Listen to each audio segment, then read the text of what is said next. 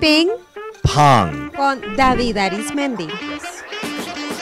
Menciona el nombre de tres medios de comunicación mexicanos. De Reforma, Hornada y Excelsior. Tu medio de comunicación favorito en Estados Unidos. Uh, the New York Times. ¿Por qué?